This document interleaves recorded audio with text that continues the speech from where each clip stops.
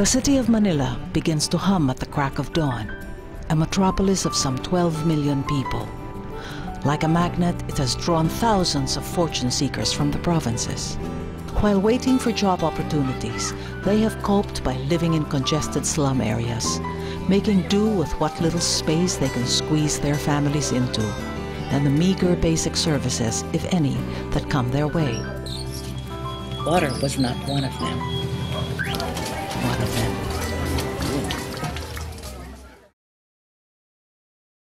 In 1997, they, there was only 26% coverage. This is 24-7 coverage. For the family of Fela Chica, mother of six, most mornings begin with waiting for water. The lines are long and the price steep for daily wage earners. Pag nag-iigib naman po, ah, depende sa iigib. Ang container po, 3 pesos. Ang balde, 2 pesos. Diyan lang po sa malapit din sa amin. Fair runs a mom and pop store, and the older children take turns tending it, but only after their water fetching duties are done. The family uses up about one drum of water for their daily needs.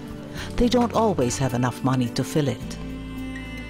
Talagang kakapusan ng tubig, ang dalawang balde, ang tatlong container, pinagkakasya sa ilang maliligo. Kasi kung wala eh, alangan naman na gastusin mo sa lahat ng ano, sa pagkain, panginom, pinipipid. Often, it takes two to fetch water. Arthur and Wilfredo, 14 and 10, know the drill. Isang kasama ko to. Siya yung taga-south, ako lang yung taga-bungas. Yung budget po namin, ma'am, sa tubig, ah, pinaglalaanan yan kasi mahalaga ang tubig, ma'am. Ibaling walang ibang pangangailangan, basta't yung tubig meron. Pag munti na yung gasal, mga nasa tatlong ano lang po ginagamit. Tatlong tabo para makatubig. Tapos yung iba po pinanilinis sa loob ng bahay. Tapos minsan po, nag, pag ubus na po yung tubig, nag-iigib.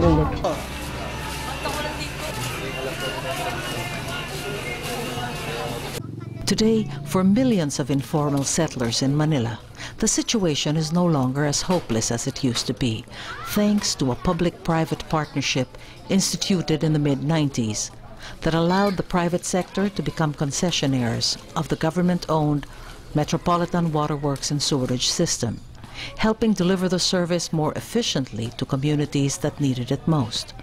Manila Water was one of them. Prior to the privatization of uh, the Metro Manila franchise area, uh, there were very terrible conditions. Very few people had access to water.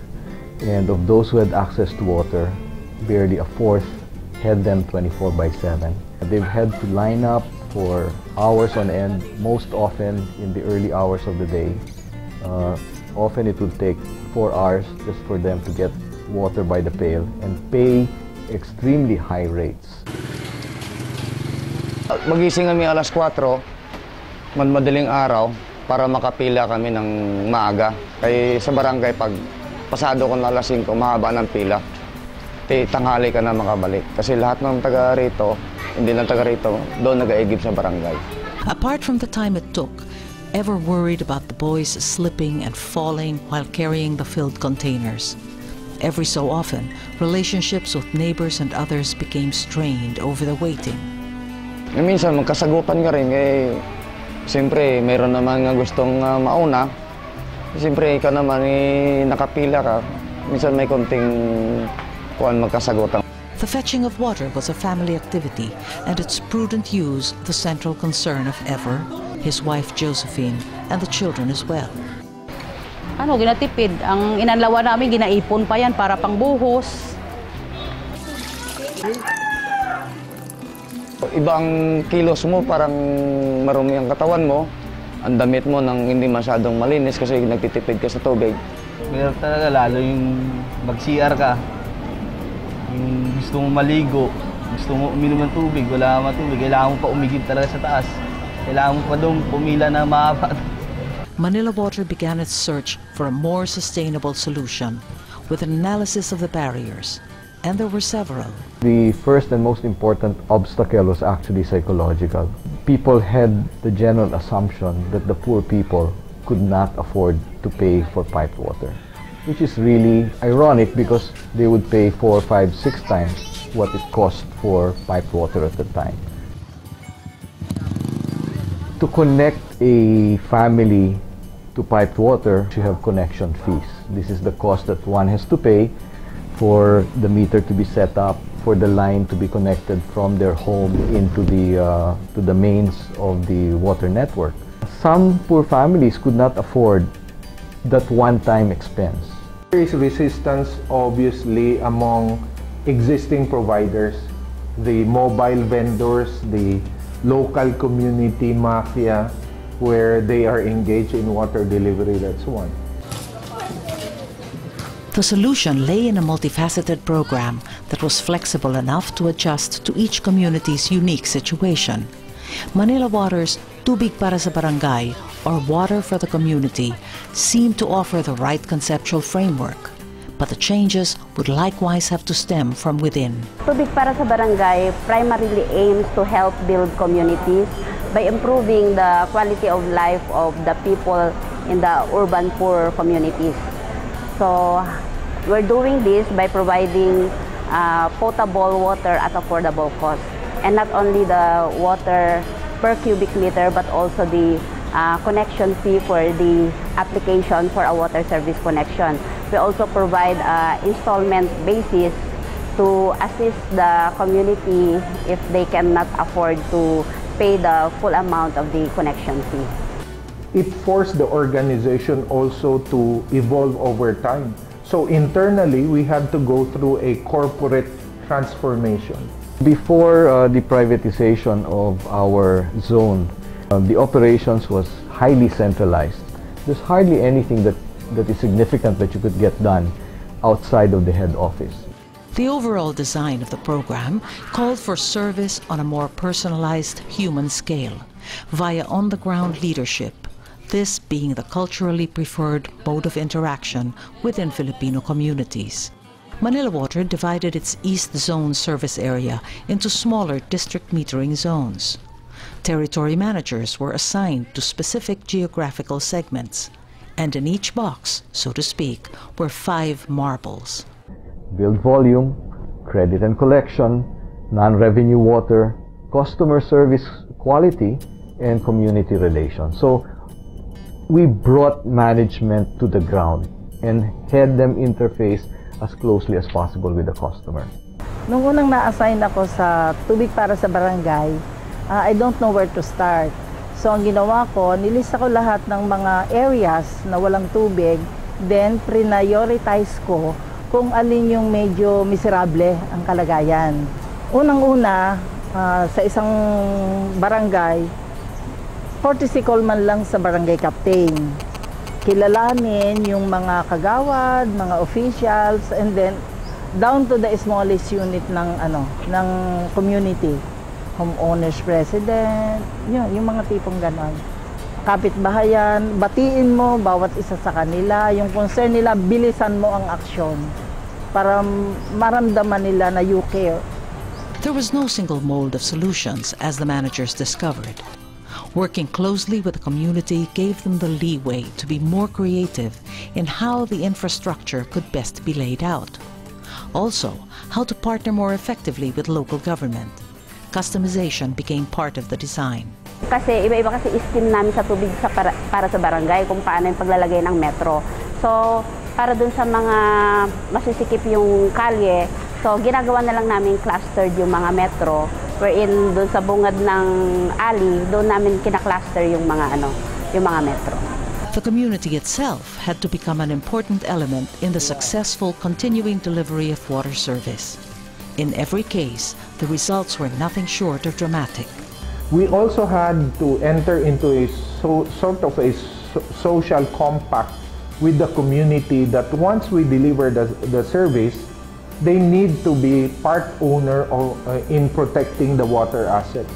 And there is also pressure among Filipinos that uh, obviously if everyone is buying water, uh, behaving as a citizen, and one of the uh, homeowners will just steal water, well, uh, that's not good practice.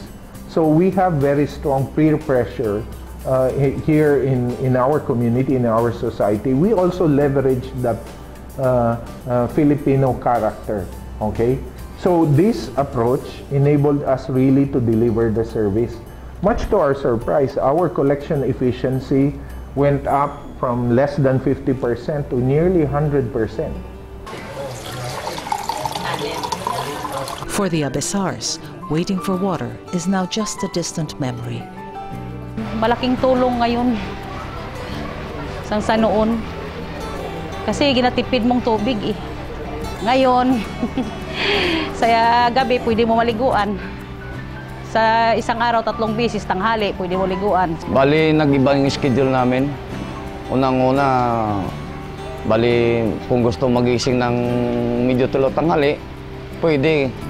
Kasi nandyan naman yung tubig, nakaready naman lang. Uh, pagbukas mo lang, nakaready na may tubig na. Dati ma- madadatnan mo yung mga tao sa community, kakain sila ng mga dilis. Sa totoo lang, may kumakain ng asukal at asin. Dahil bibili sila ng tubig na pang-inom. Pero then later on, makikita mo na pag may tubig na sila, maayos na sila. May fried chicken na dyan, may mga bago ng chinelas. Kasi ang laki ng diferensya, yung 100 pesos a day, bawasan mo ng 10 pisong tubig, dalawang araw na nilang gamit, may 90 pesos ka pa para sa ah, ibang pangangailangan mo. The La Chicas may not have that much longer to wait, and if all goes well, they will have piped water flowing by Christmas. In many communities, piped water is usually the start of a chain of good breaks for everyone. Ah, siguro ma'am kung kami eh, makabitan na ng tubig dito kahit na papano, eh, lahat ma'am ng mga batang kulang sa paligo ba, baka ma-supplyan na sila kasi mura na ang tubig. Magmula nung napatubigan yung area, yung cases ng di- diarrhea cases, bumababa yung di- diarrhea cases. Pag nakapasok na ang Manila Water, parang nagsunod-sunod na yung development. Pag punta mo ulit dun sa area after one year, maayos concrete na yung kanilang ah, mga kalsada, tapos may mga basketball court na sila, may mga health center na sila. You have clean water, so you have better health, so you won't have so many sick days. And you multiply that by the number of poor we have, that goes a long way. This Tubig Para sa Barangay enabled us in the last 13 or 14 years to add uh, 3, 3.2 million customers to the base that we had at the start of the concession, more than half of which are from the lower income groups. If that did not happen, then I don't think we could sustain our business both from an economic point of view, but as well from a social, community, and regulatory point of view. So it's it's triple bottom line. It's not a vision of the board of directors, it's not a vision of the executives only. It's really a vision of the organization. And each one clearly sees how what their own role in operationalizing that vision in the day-to-day work that they do. I think what makes Manila Water stand out as a company that's really truly committed to sustainable development and really has a heart. It can really bring that uh, sort of empowerment that's seen in the ESOL to the rest of the country. And I think that will go a long way uh, for the country's development. I honestly believe it's also applicable in other countries because it was uh, we molded the, the uh, model in such a way that you need to involve the community in the delivery of that service. Ka, kaano, nang malinis kami sa loob ng bahay. Kasi madali lang ba kilos kay may tubig ng Manila Water. may ginhawa po May ginhawa talaga. Kasi po may gripo na po kami.